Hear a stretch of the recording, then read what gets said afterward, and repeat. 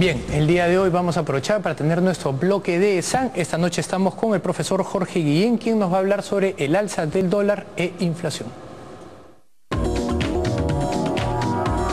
Buenas noches, el tema de hoy es inflación con devaluación. Como todos ustedes saben, eh, ha habido un pequeño rebrote de la inflación básicamente por alimentos, muchos del pollo se ha encarecido, probablemente por un incremento interno de la demanda.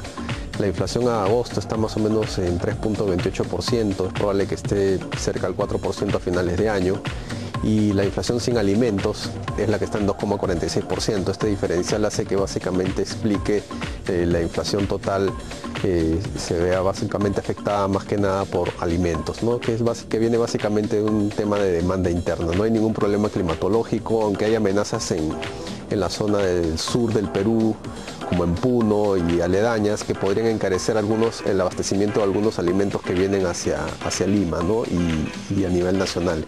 Y ello podría empujar un poquito más la inflación y las previsiones de inflación de, fin de año. Eh, para ello el gobierno tendría que tomar las medidas del caso eh, para tratar de evitar un poquito el rebrote inflacionario.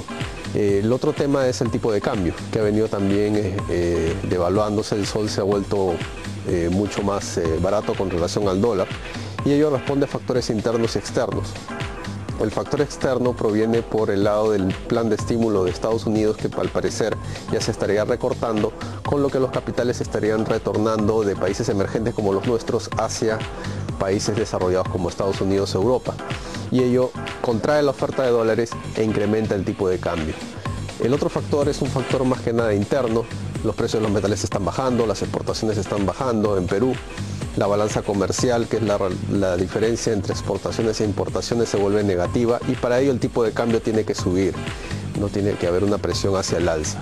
Entonces, eh, tanto por el lado de los factores externos como internos hacen de que el tipo de cambio se esté devaluando. Para ello el Banco Central también está tratando de realizar ventas de dólares, ha realizado ventas masivas de dólares y tiene el margen de maniobrabilidad para hacerlo. Y también está tratando de eh, reducir los encajes en moneda extranjera para tratar de incrementar un poco la oferta de dólares y contrarrestar eh, la volatilidad cambiaria. Probablemente el próximo año el tipo de cambio esté alrededor de, de 2.9 a 3 y la inflación eh, dentro de la banda de 3%. Eso es todo por hoy. Muchas gracias.